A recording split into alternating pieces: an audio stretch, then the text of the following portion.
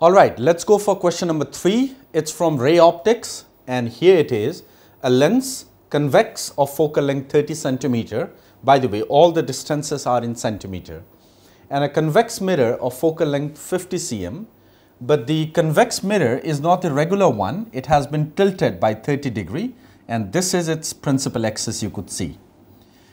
This has been taken as the origin, the optical center of the convex lens and on the basis of this we need to find the coordinate of the image with respect to this origin. First of all, let's talk of the convex lens. For the lens, 1 by V is 1 by F plus 1 by U and I get 1 by 30 minus of 1 by 50. So, let us see how much will that be that's 150 and 5 minus 3. So, I will be getting V as 75 centimeter. So, had the convex mirror not been there, the image would have formed somewhere here 25 centimeter. But now, as regard to this mirror, this object would not be a point object because the principal axis is here so, I will draw perpendicular and you would see the object distance is this much which is 25 root 3 by 2 and 25 by 2 would be the object height because the principal axis is here and the object lies here. So, this is the object distance, this is the object height. Now, every distance for the convex mirror would be made with respect to this axis. So, let us talk for the mirror now. For the mirror, 1 by V is 1 by F minus 1 by U, that is 1 by 50 and U is 1 by 25 root 3 upon 2, so that 2 would come here. Now, let us see, this is going to be 50 root 3 and that would be root 3 minus a 4 so, I get V as just look at this number is negative minus of 50 root 3 by 4 minus root 3. This is the location of the image. So, somewhere here that is a distance. So, what I will do is that I will be writing the name this as P and let us say this as M and you get this particular distance is PM. But the image would not be here because for the convex mirror, it is not a point image. You see, the object is point, then the image would be point. But in our case, the object has a certain height, the extended height. So therefore, there would be a certain height and here comes the image of this particular object.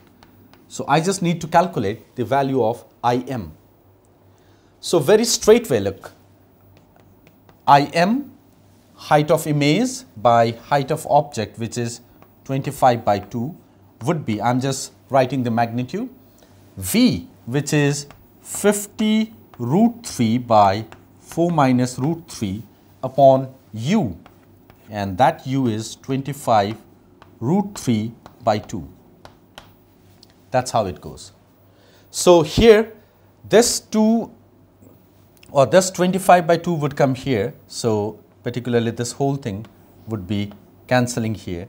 This would also cancel. So, that is 50 by 4 minus of root 3 I got and I m I can write is 50 by 4 minus root 3. Now, we need to assign the coordinate for this image. The coordinate position has already been found. What I will do is if you see this particular point, let us try to calculate this angle. This is already given which is 30 degree. This tan theta would be Im divided by MP. So, if I just divide this as tan theta that would be Im which is 50 by 4 minus root 3 by MP or PM it is the same thing. So, that will be 50 root 3 by 4 minus root 3 and you get theta as 30 degree. So this is 30 degree. Now, after we calculated all these things, let's try to assign the coordinate. And to assign the coordinate, now it's not so difficult. The idea is very simple. Let's try to see the x coordinate with respect to this point. If I drop perpendicular C, that length is going to be pi cos 60. So, the x coordinate would be 50 minus pi cos 60 because this is pi, this would be pi cos 60. So, 50 minus of pi cos 60 as simple as that. And similarly, if I go for y coordinate, the y coordinate would be pi sine of 60. That would be the situation. Now here what you get is see with these particular value like you could easily put it here x is 50 minus you see the value of pi is this and that would be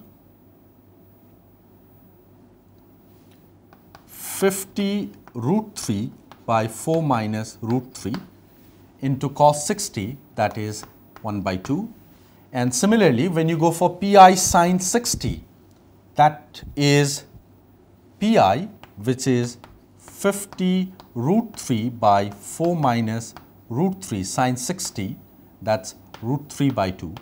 In fact, according to our calculation and the options available, our calculations do not match with the given options and these are calculated to the best of our knowledge. However, the given calculation is closest to option number D. So, in the given case, the options are not matching, but we can say it is closest to option D. That is about question number 3. Let us proceed to question number 4.